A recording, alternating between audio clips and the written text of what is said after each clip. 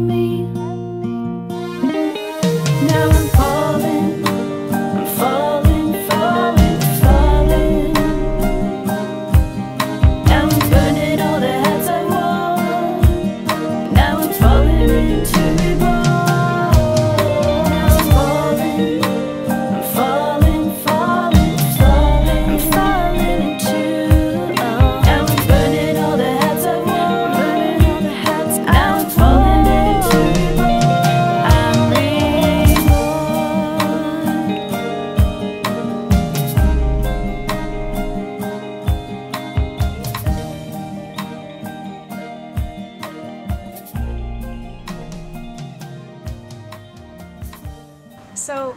was um, definitely inspired from God. Uh, I was not planning on doing a song or a video as of five months ago. It was the last thing on my mind. Lately, having my focus being more about my health and my son, um, and just going through all the medical things and other things in my life right now, I just started getting a flood of lyrics and verses and words in my head I started writing them down in my notepad on my phone. Um, they just came so strongly and so profound that I just knew I had to write them down. It was about a week into it and I had almost a full song written and I thought, wow, this is amazing, these are really powerful words and I knew, I just, I knew it was a song. Um, as a writer I write books and screenplays but writing the song was, was not what I was planning on doing. And so knowing that it was a song, um, I just wasn't exactly sure why I why God gave me this song and what I was supposed to do with it. It was about a day later after I had finished uh, writing the song that I got a call from a friend I had met a few months prior through another friend who's a director. He did her music video for her. Her and her family, they're Christian as well she called and we talked and I said, hey, I just kind of got this song that came out of nowhere and the lyrics are amazing. Um, would you maybe take a look at it and see if you could put some music to it? Uh, her name's Audrey Montoya and so I went and met with her and I showed her the lyrics and she just simply asked me what kind of uh, sound do I hear for it and or what kind of beat. Um, I didn't really know how to explain it other than kind of poppy, kind of not, kind of rock, kind of not rock, kind of pretty but not too pretty, um, churchy but not too churchy, and I just, uh, I know that I like acoustic guitar and I love piano.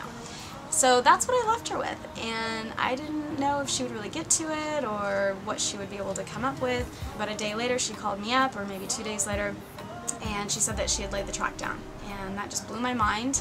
Uh, I went and listened to it. It was a million times more than I could have ever expected and I was just blown away. It was absolutely beautiful. I don't know how she came up with that out, out of what I explained to her, but um, but it was just, it was awesome. So from there we started recording and um, she is incredibly talented. She plays the piano, she plays guitar, uh, plays the drums, she sings, she comes up with melodies and she walked me through the entire process and it was like three or four recording sessions later and we were done. We sent it to her friend who mixed it and within about maybe a month, a month, month and a half, I had the fully recorded version of Fallin'. It was just, it was amazing. It was so much more than I than I expected, and and I knew I needed to do something with it, and God was really pressing on my heart, but I didn't know what. And then, like a day later, my friend Sarah Courtney calls me and she's like, Hey girl, so I've been doing documentaries and filming music videos and I really want to um, get into this and uh, I kind of want to start doing something for my reel. And I was like, Oh, well, that's perfect because I just recorded a song and no one knows me as a singer. And so she was like, Oh my gosh, okay. And she didn't really know what to expect. And um, I let her listen to the song and she was also, well, what she told me was blown away and thought that it was way more than she had thought that would come from me. And so she got really excited about um, doing a video with me.